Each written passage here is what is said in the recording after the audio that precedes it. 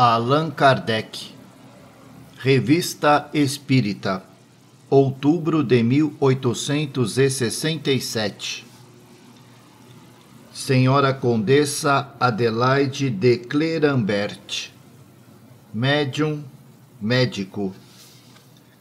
A senhora Condessa de Clerambert morava em Santi Sinforien, Surcoise departamento do Loire. Faleceu há alguns anos em idade avançada. Dotada de inteligência superior, tinha mostrado desde a juventude um gosto particular pelos estudos médicos e se comprazia na leitura de obras que tratavam desta ciência nos vinte últimos anos de sua vida, havia se consagrado ao alívio do sofrimento com um devotamento inteiramente filantrópico e a mais completa abnegação. As numerosas curas que operava em pessoas consideradas incuráveis tinham-lhe dado uma certa reputação. Mas tão modesta quanto caridosa, disto não tirava proveito nem vaidade. Aos conhecimentos médicos adquiridos, de que ela certamente utilizava em seus tratamentos, juntava uma faculdade de intuição, que outra coisa não era senão a mediunidade inconsciente porque muitas vezes ela tratava por correspondência e sem ter visto os doentes. Descrevia a doença perfeitamente. Aliás, ela mesma dizia receber instruções sem explicar a maneira por que lhe eram transmitidas. Muitas vezes tivera manifestações materiais, tais como transporte, deslocamento de objetos e outros fenômenos do gênero, embora não conhecesse o Espiritismo. Um dia, um de seus doentes lhe escreveu que lhe tinham sobrevindo abscessos, e, para lhe dar uma ideia, modelara o padrão numa folha de papel. Mas, tendo esquecido de juntá-lo à carta, Aquela senhora respondeu pela volta do correio. Abre aspas. Como o padrão que me anunciais em vossa carta não veio, pensei que era esquecimento de vossa parte. Acabo de encontrar um esta manhã em minha gaveta, que deve ser parecido ao vosso e que vos remeto. Fecha aspas. Com efeito, esse padrão reproduzia exatamente a forma e o tamanho do abscesso. Ela não tratava nem pelo magnetismo, nem pela imposição das mãos, nem pela intervenção ostensiva dos espíritos, mas pelo emprego de medicamentos que, na maior parte das vezes, ela mesmo preparava conforme as indicações que lhe eram fornecidas. Sua medicação variava para a mesma doença conforme os indivíduos. Não tinha receita secreta de eficácia universal, mas se guiava segundo as circunstâncias. Algumas vezes o resultado era quase instantâneo e, em certos casos, não se obtinha senão após um tratamento continuado, mas sempre curto em relação à medicina ordinária. Ela curou radicalmente grande número de epilépticos e de doentes acometidos de afecções agudas ou crônicas, abandonados pelos médicos. A senhora Clerambert não era um médium curador, no sentido ligado a esta expressão, mas um médium médico. Gozava de uma clarividência que lhe fazia ver o mal e a guiava na aplicação dos remédios que lhe eram inspirados. Além disso, era secundada pelo conhecimento que tinha da matéria médica e, sobretudo, das propriedades das plantas.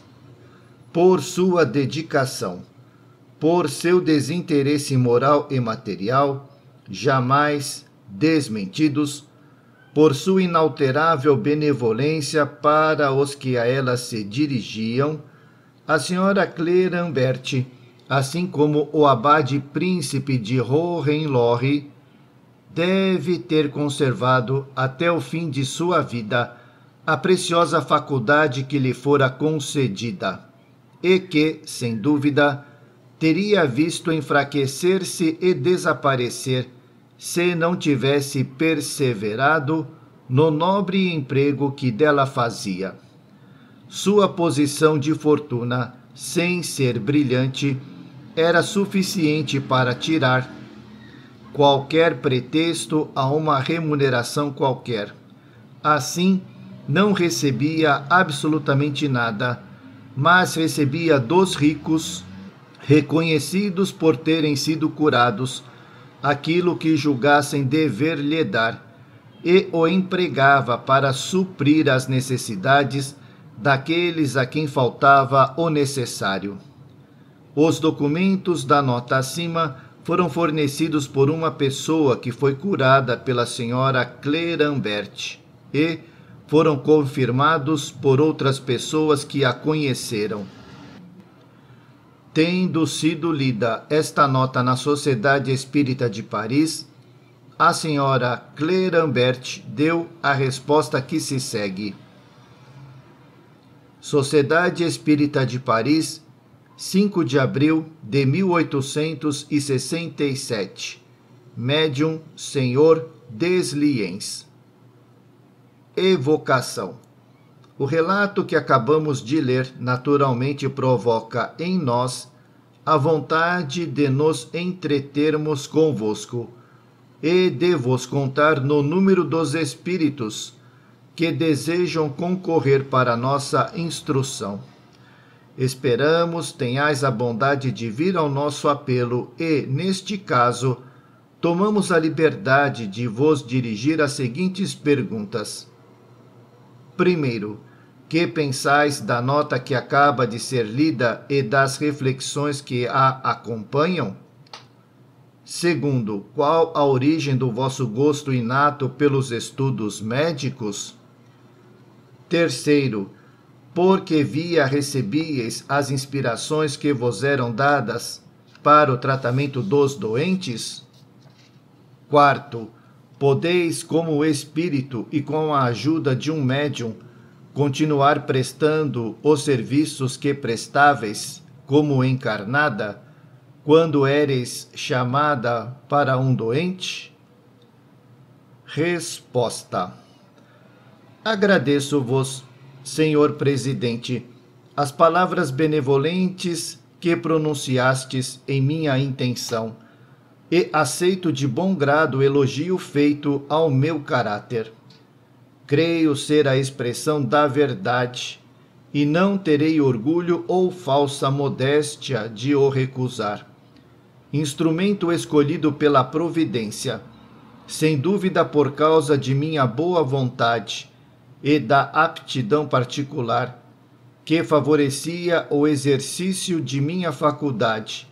Não fiz senão o meu dever consagrando-me ao alívio dos que reclamavam o meu socorro, algumas vezes acolhida pelo reconhecimento, muitas vezes pelo esquecimento.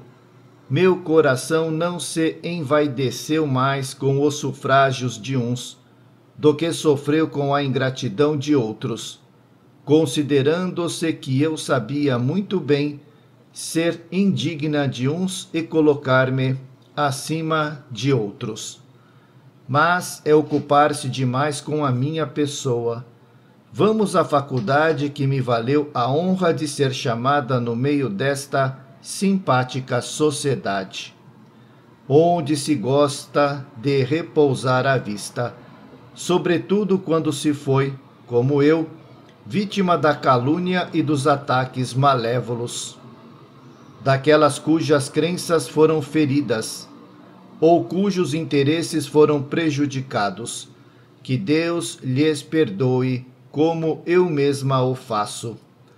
Desde minha mais tenra infância, e por uma espécie de atração natural, ocupei-me do estudo das plantas e de sua ação salutar sobre o corpo humano. De onde me vinha este gosto ordinariamente pouco natural em meu sexo? Então eu o ignorava, mas hoje sei que não era a primeira vez que a saúde humana era objeto de minhas mais vivas preocupações. Eu tinha sido médico.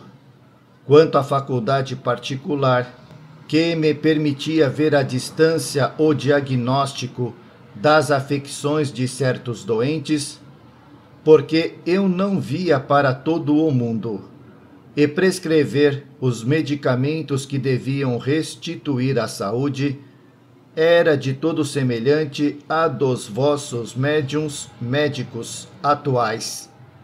Como eles, eu estava em relação com um ser oculto que se dizia espírito, e cuja influência salutar ajudou-me poderosamente a aliviar os infortunados que se valiam de mim. Ele me havia prescrito o mais completo desinteresse, sob pena de perder instantaneamente uma faculdade que constituía a minha felicidade. Não sei por que razão, talvez porque teria sido prematuro desvendar a origem de minhas prescrições. Ele igualmente me havia recomendado, de maneira mais formal, que não dissesse de quem recebia as prescrições que dirigia aos meus doentes. Enfim, ele considerava o desinteresse moral, a humildade e a abnegação como uma das condições essenciais à perpetuação de minha faculdade Segui seus conselhos e só me posso congratular. Tendes razão, Senhor, de dizer que os médicos serão chamados um dia a representar um papel da mesma natureza que o meu. Quando o Espiritismo tiver conquistado a influência considerável que o fará no futuro, instrumento universal do progresso e da felicidade dos povos. Sim, certos médicos terão faculdades desta natureza e poderão prestar serviços tanto maiores quanto mais facilmente os seus conhecimentos adquiridos lhes permitirem assimilar espiritualmente as instruções que lhes serão dadas. Há um fato que deveis ter notado: as instruções que tratam de assuntos especiais são tanto mais facilmente e tanto mais largamente desenvolvidas. Quanto mais os conhecimentos pessoais do médium se aproximarem da natureza, daqueles que ele é chamado a transmitir.